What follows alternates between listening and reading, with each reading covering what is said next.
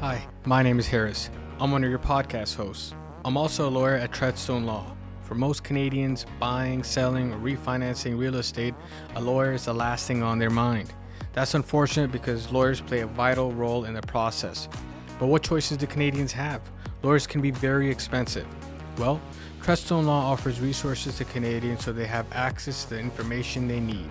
Whether you sign up for a live workshop or a mailing list, we cover topics to help you make informed decisions and avoid costly mistakes.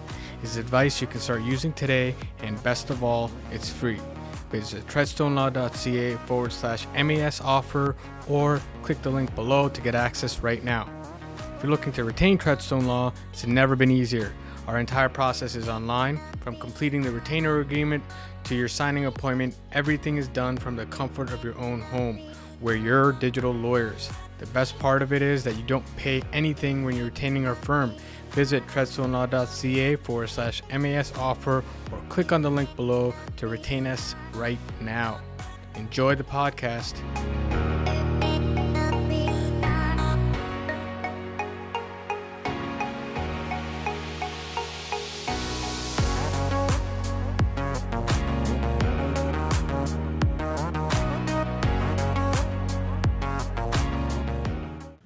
Welcome to another episode of Hustle and Grit. Today on my podcast, I've got a special guest, Roy Cocciollo. Roy is the president and CEO of Your Mortgage Your Way. Roy's vision is to put clients' needs first to provide great service and comprehensive advice. Together, he can create a mortgage plan that meets your financial goals. His objective is to assist you in making a sound financial decision on making your debt and creating wealth. A mortgage shouldn't hinder your financial goals. Really, it should complement them. Welcome to the podcast, Roy.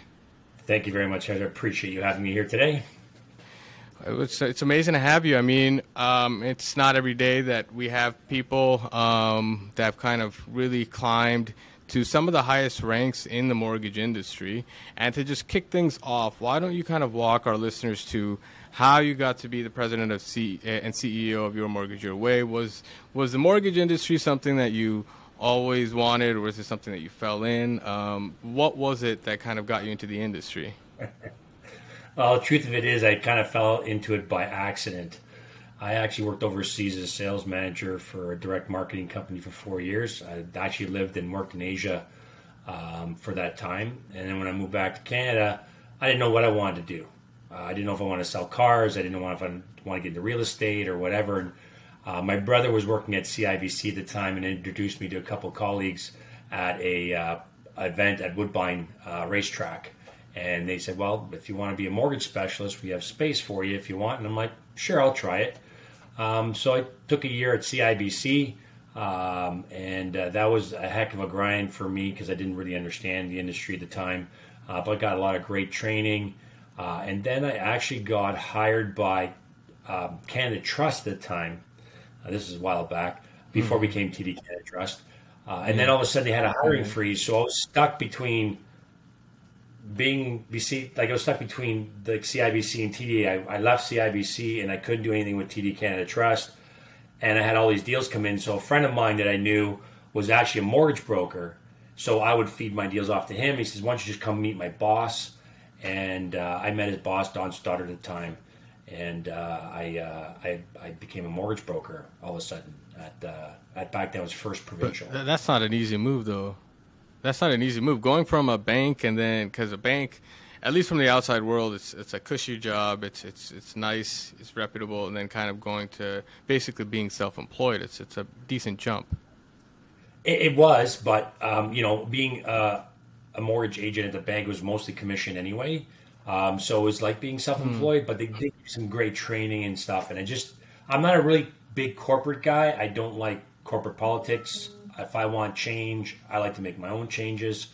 Um, so from there, I left. Uh, well, I didn't really leave. Um, then they all amalgamated into one company. First Provincial, Norlight, a bunch of other ones became Mortgage Intelligence, and I was there for about a year.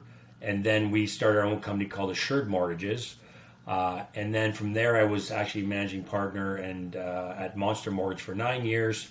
And then I, uh, I, I opened up Your Mortgage way back in March of 2014 uh, on my own. And now we are a small niche of 26 agents at Your Mortgage Your Way uh, down in Toronto. And last year we did just shy of one billion dollars in originations. Um, so we are we are like a small little niche company that does really really well. I have excellent agents. Uh, we mm-hmm. were ranked in Canada for the highest average per agent um, um, production. So yeah. I'm really proud of that. Oh, that's so, that's a, that's a big accolade. So when you say niche, what do you mean by niche? Is there like a, a certain type of mortgages that you deal with? Like when you can you kind of describe that a little bit more? Well, we, we mostly do residential, like most mortgage brokerage. We do some commercial, industrial stuff. Mm-hmm. We do construction loans. Um, and what I mean is a niche is we're really like more of a family oriented little brokerage. We're not looking mm. to expand to get to 200 or 300 agents. It's not our it's not really our, our, our core values. What we want to be able to do for our agents is teach them to become super successful. Um, yeah. and and that's what we want to do. We don't we're not looking I don't I don't want to manage 200 guys. It's too much. And if you're not producing then I don't really need a name on my roster. What I like to do is hire very good professionals who understand the industry, who understand the mortgage products or young guns who are getting into the business who have lots of great sales ability but no real mentorship. Those are the kind of people we like to get aboard with uh, your mortgage your way uh, and help them get to the next level uh, on that side. So yeah, so niche, but you, yeah. So when you're saying niche, it's more about like culture. It's not necessarily about the mortgages. It's about the type of organizational culture that you have with your team. Um, so what uh, when it comes down to I guess uh, uh, your culture and and your and your and, and the type of um, team building that you do. Um, one thing actually, just off the top of my head, and I know I'm segueing a little bit here, but the reason actually, whenever somebody comes down to me and they ask me, like, you know what, I need a mortgage, should I go to a mortgage broker or a bank? I love banks, right? Uh, and and we do tons of business with banks. But the reason I always suggest mortgage broker is exactly kind of what you've stated, where it's like, you know what, if a mortgage broker is really good at their job, they're going to be there 10 years from now, and you can actually go through your entire life with them, and they can understand who you are and what your needs are. Um, going from your first home to your rental property to investment to vacation home, you need a, a credit line for your kids going off to college, like whatever you need right? If you're a good mortgage broker, you're going to be there 10 years. At the bank, if you're really good, you're going to be gone in two years because you're going to get promoted and it's a new face every single time. Yep. I get that call time. Listen, I had this great guy at the bank and now he got promoted and I don't know who this person is. And, and, and that is true for us. If, I mean, like if you pick up the phone, my clients call me. They don't call a call center. They don't call a branch. They call me directly. And uh, we have a great underwriting team uh, that we deal with as well. So they're always well taken care of, and, and we walk them through the process. And uh, we're like, I think that during the pandemic, and one thing the pandemic mm. truly destroyed in any major market is customer service. Yeah. And uh, I have to say that that's why I think mortgage brokers did really well over over COVID is because whether or not our service from the bank side is a little bit slower than normally was, they had somebody they can call and talk to, right? Yeah. And we're like, we hold their hand and say, I understand you're in a hurry and understand things, and we, we kept in touch with them. So I think that's something that um, that we we we did really well during COVID, and that's why I think the broker picked up a big market share during COVID uh, for mortgages because of customer service. Yeah, and also it's just that I feel like uh, I mean banks because it's a bigger organization and i don't hate banks. I love banks. I'm not saying anything against them but there's just yeah, there's just drawbacks right? So like going into a, a specialist who first of all may be younger than two years in the industry and may not have gotten the same kind of training um, that somebody in a brokerage would. And when i say that it's because when you go to a good broker and a good brokerage, right? Like you're training your guys, so you're you're letting them know this is how you can place different deals. Whereas I don't think in the bigger banks you're only kind of given a script on the products that they have, and then that's it. And so you, sometimes you don't even know those products well enough because you're not only selling mortgage, you're selling whatever it is, your your uh, mutual funds, you're selling uh, bank accounts, Visa cards, whatever it is. And so to specialize is extremely difficult. And it's not even just to say that these individuals are are lacking in any kind of intellectual way. It's just that there's a lot of stuff thrown at them at the bank and a mortgage is no longer a mortgage, right? There's no way. I mean, there is gone is a day where like 10, 15, 20 years ago when a mortgage is a mortgage. Now, like there's just so many different things that you really have to specialize in it, and it has to be your craft, and you have to be dedicated to it for a number of years, um, to, in, in order to really kind of be give meaningful advice. Yeah, I think with the problem with banks is when they, are jack of all trades, selling bank accounts, you're selling credit cards, you're selling life insurance, you're selling this, that, the other thing. And when it comes down to the mortgage itself, like it's a loss leader for most banks. There's not a huge profit margin in mortgages for banks. Mm. So for them, it just gets you in the door with a mortgage and sell you everything else and behind it. Yeah. Right. Yeah. Uh, sell you bank account and cut, you know, service fees and all that kind of other stuff that they want you to have. High interest rate credit cards. Um, and one thing we look at too is just the fact when you come into us and and we want to to see what the best I you know best situation is for you. And a lot of people have a lot what we call debt equity and debt equity is just a lot of money tied up in your house that you're not doing anything mm. with, right? And you can use that and leverage it so that way you can create wealth for the future. I mean, if you're, you know, in, in your mid 40s and you have a house that's worth now, say, a million four, and you have a $300,000 mortgage, you should look at leveraging some of that and putting into the market so that way you still got that 20 years to work, so you're going to pay off your house anyway. And you mm. might as well have something create wealth on the other side so that way when you retire, you're not just based on Canadian pension plan and just the value of your house. You want to leverage some of that to have other means of income, whether you buy dividend paying stocks or rental uh, property, something you know, with cash other, flow. Yeah, bonds, whatever it is that that, yeah. that that you like to invest in outside. So people forget that when you buy a house, it should be actually a tool to create wealth, not just a place for you to live at. Hmm. Because I think it was seventy six percent net worth is in real estate and it's principal residence. So you have to leverage that so that's not so high, really, to yeah. be honest with you. Because yeah. you diversify Yeah. No, I think a lot of people kind of mistake your house for uh, being this crazy asset that they can kind of milk forever when it really is just a, a strategic investment that if you leverage the right way, you can get into other places and actually increase your wealth overall. So 100% agree. But kind of going back to um, your mo- your brokerage, can you walk us through kind of the experience of what it's like working with your brokerage? I know you kind of touched upon it that people could call you.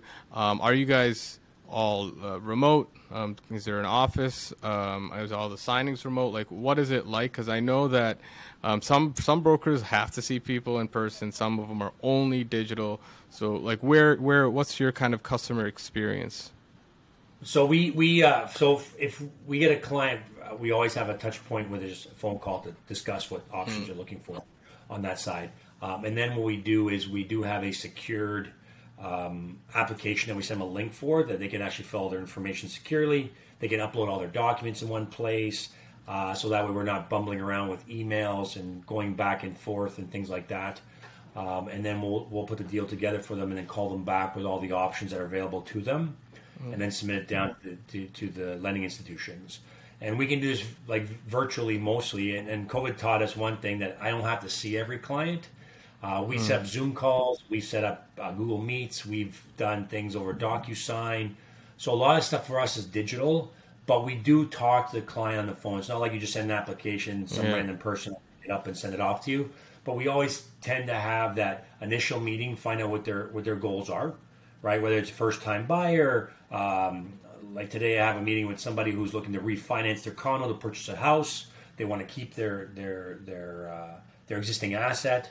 Um, so then we'll go through all their options. Let them okay, if, if you want to buy X house and you keep your condo, this is what you qualify for purchase. And if you sell a condo, this is what you'll qualify for purchase. And and and we just go through that with them and say, hey, listen, maybe you it's a good idea to keep your condo, maybe it's not. So we just go through all their options so they understand where they can maximize uh, their their equity to make sure they can maximize their wealth uh, coming down the pipeline uh, for retirement. Um, and most of us forget that there's more than one way to get in the real estate market, especially for the um, first time buyers. Yeah. So I mean, um, one of the things that I kind of found um, through this entire, and you're kind of touching upon it, um, during the COVID experience, there was a lot of bad, but some of the good stuff was like being able to talk to a professional almost face to face, kind of like what we're doing right now, right? Um, but yeah. you're sitting at your own home. It's something that I feel like it's it's easier. I, I, correct me if I'm wrong. It frees up time for in your day to give actually talk to more people and give them more advice, and people can actually talk to you and see your face, whether it's through Zoom and Teams. Because I'm a still big believer of like just seeing somebody's face, getting to know them instead of a voice over over the phone, um, to actually kind of do not just business, but to to better understand who you are. Um, uh, didn't kind of COVID help you guys in terms of um, giving that advice to more people in less time? Oh, 100%. The efficiency levels for us when COVID hit, like we're always, people don't like change, right? I, yeah. I was one of those, I met 95% of my clients. Like everybody came into my office or I stopped by their home or whatever it was. But you know, you're taking two hours, three hours of your day driving to one yeah. place, have an hour meeting with somebody, and then drive to the next place. Uh, and this one here, like I remember sometimes I had so much spare time because I would just have a Zoom call with somebody. We're done in 15 minutes, right, or 30 minutes, or however long the conversation is, and then it's like I got the application and beforehand, like you walk around stacks of paper, bring it back to the office, input stuff, and this is way more efficient, which actually benefited clients because I'm not as tired at the end of the day. So if you yeah. if you have a three o'clock or two o'clock afternoon appointment with me, you probably get a different version of me than at five thirty o'clock. You know, after after a long day of work, and you're sitting there and you're waiting, and and uh, and they're they're tired from work. So I think that yeah. definitely created a much better connection in the sense that you're never in a rush. Yeah, you actually have time. Like really like and, and the beauty is like you have nothing really else to do besides either you're at the office and i was lucky because in covid there was nobody in my office but myself so i mm-hmm. spent a lot of time at the office uh, or you're at home there's no there's no two ends that's about it so you had no excuse to say well i'm too busy or i can't really make it tonight or i don't feel like it it's like hey you need a zoom call at seven o'clock at night yeah. hey no problem here's the invite i'll talk to you at seven and uh, that was a great eye opener for us. And we just keep that going. And, and, and clients also enjoy it because they don't have to travel to you. Yeah. Right. And you don't have to travel to them. So everybody kind of enjoys the fact that it's quick, it's easy, and it's simplified.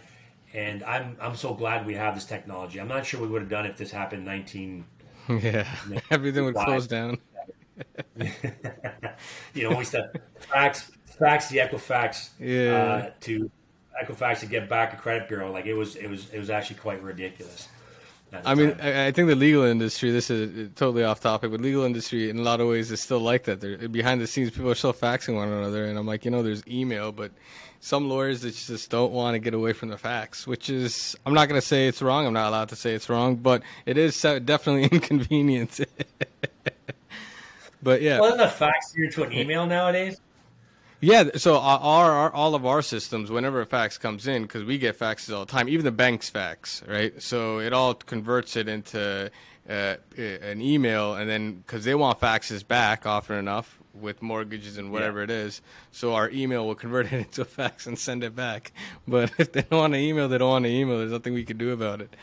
Um, oh, this, this, this how long I've been in the industry. Okay, I know it doesn't look like it but when I used to be in the industry, they would fax offers back and forth on that, that thermal rolly paper. Oh, damn. And if you signed it back more than 10 times, you could never read it anymore, right? Oh, so we yeah. always had to get the original along with this. And, and if it's the end of the fax paper, it'd be all curled up, and you have to yeah, sit there and try to squeeze it out. It was actually quite funny that we used to have to do that. But nowadays, you know what? It's just DocuSign saves everything. It's like, it's beautiful. It is. Offer, uh, yeah. Yep. And then and then when, like you're saying, like you can actually read the document after a few edits. it's like it looks pretty nice. Yep. But yep. yeah, I want I want to I want to change I want to change gears a little bit just because um, the market's just like insane. I feel like um, I I personally beginning of this year did not think we were going to see this many interest rate hikes. Um, and I did not think we'd be in the situation we are today. And I, I really don't I can't say I have like an understanding of where we're going in the future. But to kick things off, this is going to be. I want to know, I guess, your opinion before I ask you about anything else. Are you still um, recommending variable or fixed rates to any client coming in?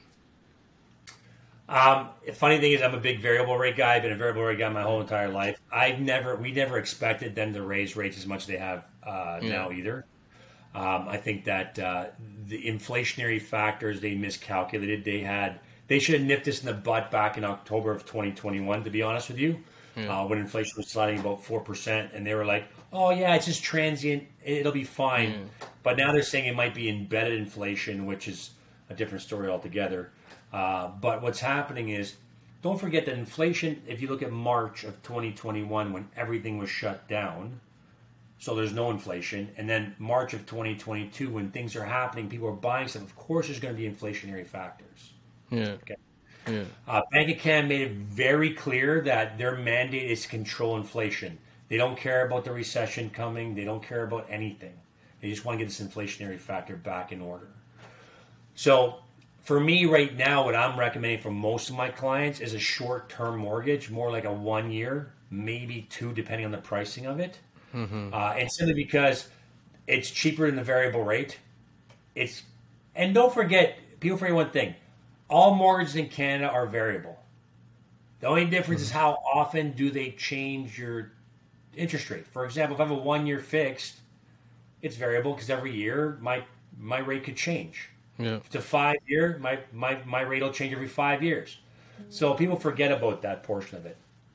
But when it comes down to what's happening now, do we foresee more interest rate hikes? I'm going to say they're going to have two more one medium sized one, maybe 50 basis points in October, and then maybe a 25 basis point one in December, and then they'll just wait and see what happens. Job markets are starting to slow down. We're not creating as many jobs as we used to. Inflation's starting to slow down. So I think it might be, you know, uh, kind of a uh, let's get this over with, overshoot by a lot, and mm-hmm. let's see what happens. Okay, um, we're at the end of this now. I think we're pretty close to the end of it. Um, so to lock into a five-year fixed rate might be a mistake because five years, if you're not insurable, are going to be in the mid fives, um, and for you to lock in that rate for the next five years, and I think in 18 months, you'd be really mad at yourself for locking in that long. Yeah. So right now, my thing is more if you want to get a fixed rate, take something that's short term, one maybe two years max. Um, one, I think inflation will stabilize in 2023, and in 2024 is presidential election year. And historically, rates most of that time. Yeah, uh, I mean, I I have a feeling that they're going to try to bring the interest rates down, um, just simply because like the, a lot of our directions coming from this uh, our neighbor down south, and and they refuse to acknowledge that they're in a recession. So even though technically, as far as uh, as time as forever, um, if you your economy's contracted two quarters in a row, you're in a recession. But this time they're saying no, um, and I guess they want they don't want a reason not to keep increasing the rates. But yeah, like you're saying, I do feel like before the elections come about, they're going to bring it down so everybody's kind of flush with cash. But not flush with cash, but their their the affordability kind of goes up. So my question then, are you saying that definitely you want like a, a short term two year mortgage, but are you moving towards a variable or a fixed for the two years? Well, two years will be a fixed rate mortgage because they don't really have two year variable rates. Okay. Um, so variable rate typically is five years. Depending on the lender, some some lenders um, will allow you to get out three years after three years completely open, and some lenders do have that uh, static payment, right? So okay. that way your payments won't change. And being at the top end of the interest rate cycle is beneficial because if rates go down, you'll be paying your mortgage a lot faster off, right? Yeah. That's that's that's yeah. the advantage of that side. Um, but for us, they already the bank can already said that even if inflation goes back down the right way, that they're going to keep rates where they are for at least 12 months just to make sure inflation's out of the system. So if that's the case, I'm going to say it's going to be a really rough ride for most people on mm. that side. But everyone's already qualified five and a quarter, and most of the people that took a variable rate are going to be around the five and a quarter by the time this is all ended anyway. Yeah. So it just hurts a little bit for sure. Like I'm in a variable rate mortgage. My mortgage payment's gone up about two thousand dollars since I started. Yeah. Right. And I never thought they were going to do this fast, they, this quickly. And the truth of it is, they did this kind of backwards, Harris. They they should have gone in March like a one percent interest rate hike, a one percent interest rate hike, and then slowly add the other ones. Yeah. But they knew they messed up. Like January, we should have had one, but because there's another lockdown, they decide, okay, we're going to wait. Yeah.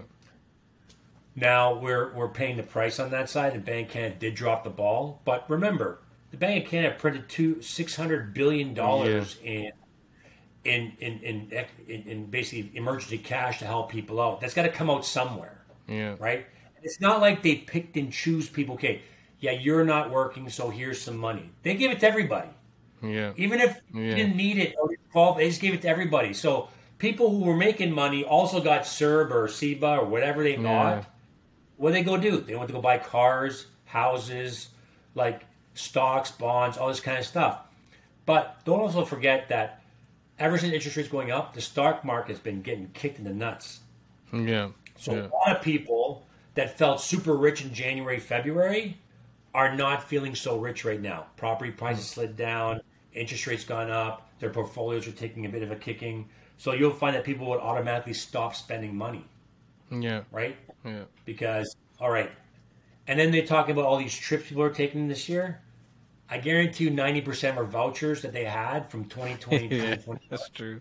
and they That's needed to go somewhere right um, and and so of course airfares are going up because people are flying again like these are all things that in 2021 they're giving that shit away because nobody was traveling nobody was going Yeah. right and now things are open people are flying Yeah. so I think that come March of 2023, we'll find that things are a lot different than they were in March of 2022. Yeah, I think I think people also kind of have a, an interesting perspective from what I've seen, where they feel like, um, like cash or money has some kind of value in and of itself. When in reality, money is something that you go to get goods. Goods are the ones that have value, right? And if you're printing all this cash out, simultaneously people aren't working, so you're producing less and there's more money, everything's just automatically going to cost more, right? Because there's just not enough things to go around for the amount of dollars that we've just kind of sent out. And so people are kind of like they thought, "Oh my god, this money's it's it's free, so it's good, but nothing's free. Nothing is free." And we're kind of understanding that now. Yeah, and, and like I said, there's a lot of people who collected CERB and got Yeah. loans and stuff like that and didn't really need it, but they just thought, hey, you know what? If they're giving it away, I'm going to take it, Yeah. right? And I heard a lot of people getting their CERB, and first thing they went to buy a car, and like, okay, and then you, you run out of cars. Now car prices are going up because there is no cars. Yeah. And the, the the supply chain issues that we had definitely didn't help inflation because people who wanted had the money would pay more for it.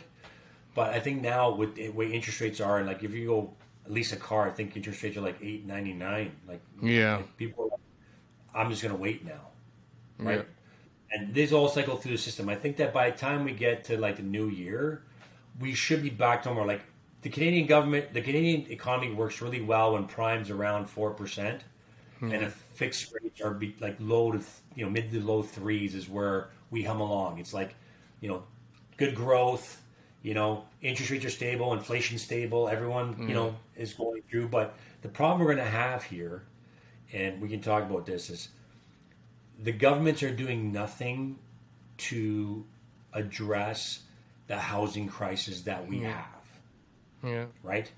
The fundamental demand for real estate is quite high. It's a little dormant right now until kind of things settle out, but you get immigration back.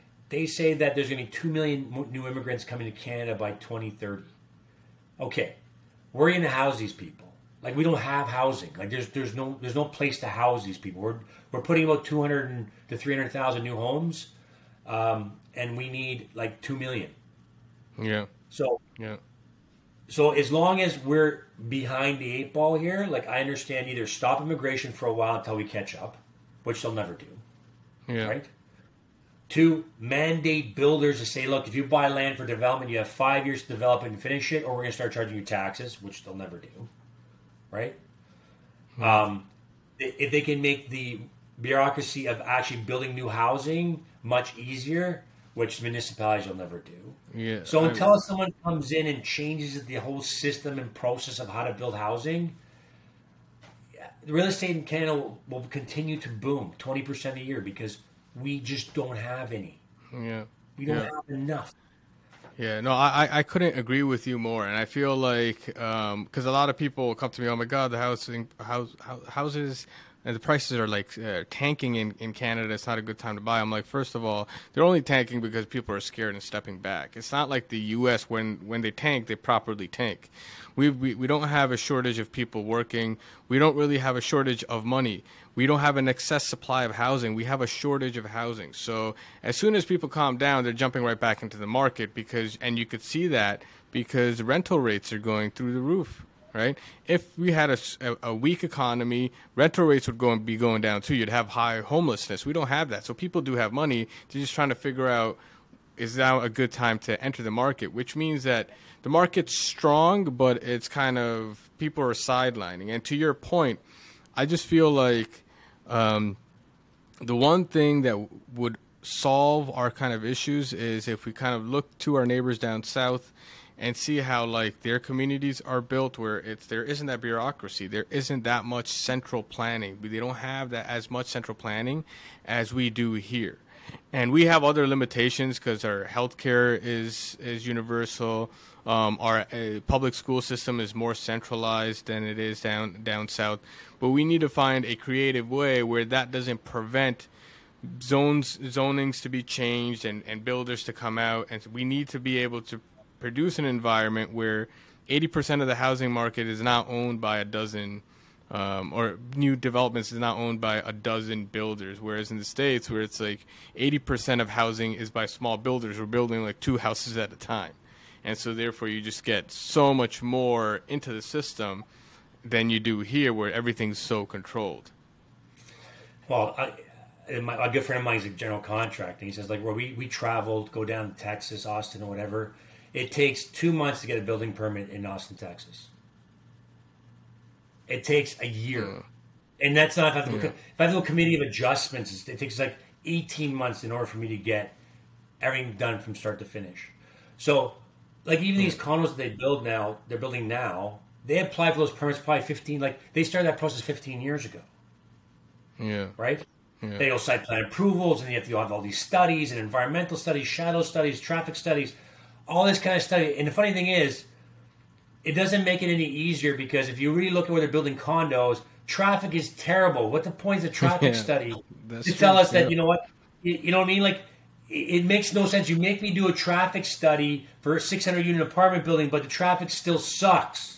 So yeah. why bother? Just fill yeah. it up, like. And, and and I think that also they talk about affordable housing, right? So here's something for you for every unit they build it as, as, as a condo, you have to pay like $143,000, the builder does, for development fee for that condo, just one unit. Oh, wow. Okay? Oh, wow. And then you have land transfer tax, right? And then you have property tax. So the government really makes more money on that unit for development than the actual guys taking the risk. Yeah. And and we can't pass that off. Like we have to pass off to the consumer. So if you think about land transfer tax and the and the development fees, if they took those away, that'll drop home price by two hundred grand. Yeah. I mean, and, and yeah, and, and, that incentivizes the, the builders not to want to build as much either because they want the prices to go up because the fees are so high. They need a decent return on investment, like you're saying. Like there's there's a lot of considerable amount of risk to put up a, a project with 100, 200 units, and if you're not making enough, it doesn't make sense to keep going. And hence, that's why I saw like there's ten thousand projects that got canceled. Like ten thousand units got canceled because the cost yeah. of construction was too much, and there's no profit into it for them. And and you know, in order for yeah. us to create a healthy housing system, right, you have to keep up with immigration, and then we don't. And the problem is governments yeah. are reactive, not proactive. Like they should already have zoning and everything already done for the next 10 years so they know look we there's 100000 people coming to this city uh, this year. We already have the housing already starting to be built out so that way they have places to go. And mm-hmm. nowadays you can't. That's why housing is so expensive in toronto. It's probably like it is the craziest place to buy real estate is in in, in, yeah. in, in ontario and, and in vancouver and toronto. It's crazy.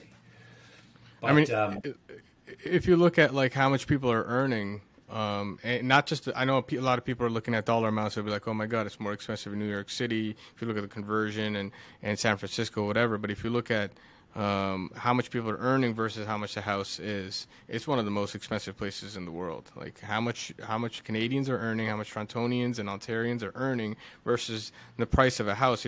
If like you're earning a hundred thousand and your average uh, house price is like 1.7 million. I don't know how people are going to enter this market. I, don't, I don't know how future generations are going to try to buy a house. And 100,000 is a good job. I mean, people are really starting off at 50,000, 60,000. Well, I can't I can't know how many young professionals making, you know, 120, 130, 140 grand a year, which is like great money. Like yeah. When I was 28 years old, I never made 140 thousand dollars, right? Yeah. I, it was like if I made 60. And the funny thing is, you look at them and they go, okay, well, I want to buy a place. I have you know fifty thousand dollars saved, which is you know half their salary after after tax. I think it's great savings. And what do I qualify for? I go, you qualify for a four hundred twenty thousand dollar mortgage. They're like, what am I going to buy for 490? Like, what am I going to mm. buy for 490? There's nothing here that I can buy. I can't even buy a condo or a studio, right? And like yeah. condos are like 11, 1200 dollars a square foot. And so if you're a single income family trying to get in the marketplace with less than 20% down, good luck. You don't you won't qualify yeah. for anything. Like anything. It's terrible. Yeah. It's terrible on that side. And the government yeah. should do something for those people. First time, actual first time home buyer trying to get a marketplace, they should give them a break on the mm. qualifying rate.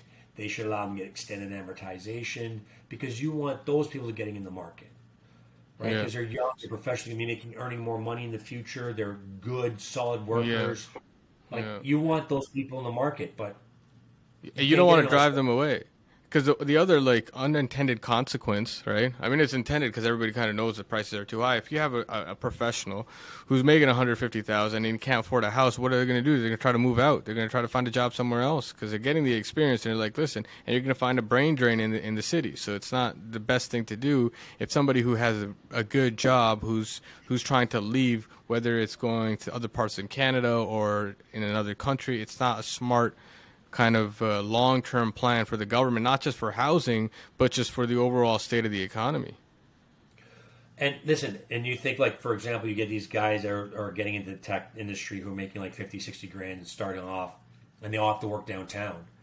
Like making 50 grand and you have to go pay 28 $2,900 mm. a month in rent for a one bedroom. Like you can't afford that either. So it becomes mm. very, um, it becomes very difficult on where how you're going to make this work. Like, if you want inflation to get in check as well, you're going to have to do something about creating more supply so it keeps pressure of houses at an affordable level. Or, yeah. like I know they, they put stress test in because you know we want to make sure that people can qualify if rates go up. That's fine and dandy, but if you get a guy's 28, 29 years old, he's got 40 years to pay his mortgage. So let him have a 40 year amortization and qualify at the contract rate. Who cares? That guy'll get in. Yeah. He'll find somebody. They'll move up, and that's what you want. You want people to get in the market to move up. Now you can't. It's like you're already moved up. Like gotta buy a condo. It's eight hundred thousand dollars. Yep, yep.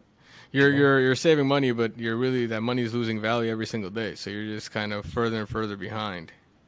Well, they there had an article said the, uh, for for for the average home in Toronto, which I think it was 1.3 million at the time, you'd have to make two hundred and twenty seven thousand dollars a year oh, to oh, wow. qualify, and it would take you 25 years to save up 20% of your mortgage, 20% down for oh, your. Oh wow. For your so like, unless you have yeah. mom and dad giving you a check, you got to wait 25. You think you're ever going to buy that? You can't buy it.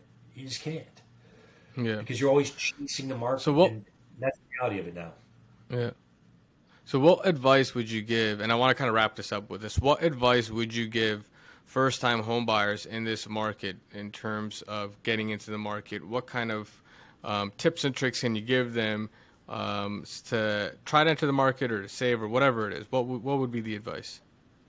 I say, first of all, that chances are you're going to need somebody to buy with. Find a good mm. friend, find a family friend or a family relative that you're close with, whatever you want to do. But you have to get in the market because if you're not getting the market, especially the next I'm going to say six months is the window, right? Then what's mm-hmm. going to happen is when there's some good news out there, people rush back to buy. But if you really want to get in with the least amount of of conflict. I'm going to say that by multiple offers. Find somebody you can buy with. That's the only way right now you can probably get in the market. If you're, I know people want to do it on their own. Either you have family who's going to give you a lot of money to put down as a down payment, or you find somebody to buy with. I think that is a key thing to get in the market as soon as possible. Because if you think it's expensive now, wait five more years, and you'll see how more difficult it'll be to get get into the marketplace. Yeah, no. As soon as these interest rate ease up, prices are going up. Over. It doesn't have to, you know what? It doesn't have to ease up as, as soon as people are getting used to these rates. Okay. Yeah. Come back to market. That's true. Right now, they're not yeah. sure. Right? Like, ooh, my rate yeah. last month or six months ago was one point five, but now my rate's five point five. Like, what do I do? But if you yeah. look at the cost of homes, and I put some on my, I, I, I put it on social media, that the house in February is nine fifty. The same house is eight hundred now. The cost to carry that with twenty percent down even though the rates are higher, are about the same. I think it's like thirty dollars more a month. Yeah. So if interest rates the only thing that keeps you from going and buying a place, you shouldn't buy a place. Yeah. Because you marry the house, you date the rate. Yeah. that's, that's, Got that? That's you marry good, the yeah. house and you date the rate. The rate is going to come and go every five years, three years, whatever your term yeah. is. Your rate change. So yeah. you marry the house, you find a place you love to be, and here's the thing that people don't realize. If you find a place, you're better off spending a little bit more for a place you want to live for a longer periods of time. There is no money flipping your house every four or five years. Yeah, no, hundred percent. Because it costs you about a point and a half to get in with land transfer tax, and it costs you five percent to get out with real estate fees. Mm. So if you can, if you find a place you can stay for a longer period of time, you're better off, and you just hold that yeah. thing for as long as you can. Yeah. Hundred percent. I think it has to increase like six to eight percent for you to start thinking about breaking even, which is not the.